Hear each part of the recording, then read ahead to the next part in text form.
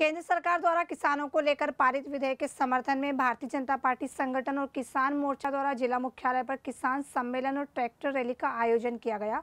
कृषि उपज मंडी प्रांगण में किसान सम्मेलन आयोजित किया गया। भाजपा पदाधिकारियों और किसान मोर्चा के पदाधिकारियों ने मौजूद किसानों को विधेयक के संबंध में जानकारी दिए जाने के साथ विधेयक से किसानों के होने वाले फ़ायदे के बारे में बताया। किसान सम्मेलन के बाद आयोजित कार्यक्रम के तहत स्थानीय कृषि उपज मंडी से ट्रैक्टर रैली का भी आयोजन किया गया। हालाँकि इस ट्रैक्टर रैली में किसानों की संख्या काफ़ी कम रही। कुछ ट्रैक्टरों की ट्रालियों में किसान बैठे हुए दिखाई दिए तो अधिकतर ट्रैक्टरों में किसान रैली से नदारद रहे।